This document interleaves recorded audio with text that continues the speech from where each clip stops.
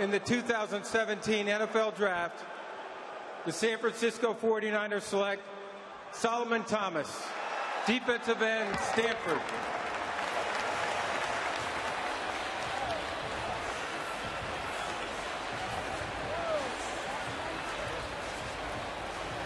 Well, a sigh of relief for Solomon Thomas, who gets to stay close to where he played his college football at the farm in Stanford. Hometown of Coppell, Texas, which is just outside Dallas. He lived in Australia for five years. His first sport, sport was swimming. He learned to swim by body surfing on the Great Barrier Reef.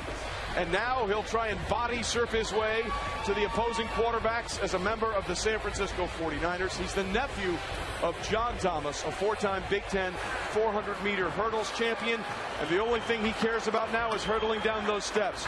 Mel, what do we like about Solomon Thomas? First of all, I think it's interesting. The 49ers need a quarterback. They said, okay, Cleveland, uh, excuse me, uh, Chicago, you can have Mitch Trubisky. We'll let you have him. We'll take Solomon Thomas. Another defensive line. They took Arik Armstead, then DeForest Buckner. Third straight year, you're taking a defensive lineman. This is a third-year sophomore with tremendous upper body strength.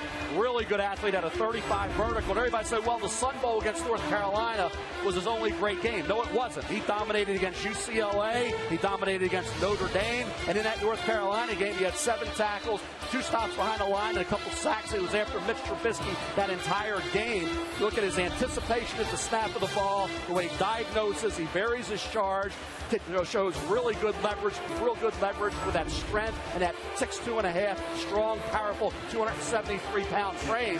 That's interesting. You think about the 49ers again, guys, taking that defensive lineman, passing on a quarterback like Trubisky, looking now at 18, getting there for the quarterback with Thomas. You play inside as a free technique, outside as well. Great scheme versatility. Be interesting to see how this plays out with the Bears going to quarterback and the 49ers passing on one when all they have right now is Matt Barkley and Brian Hoyer. Yeah, look, the San Francisco 49ers defense was historically, historically bad last year against the run. Almost, almost 2,600 yards rushing the football they gave up. That's just unheard of. And so they need more defensive linemen. I don't care how many defensive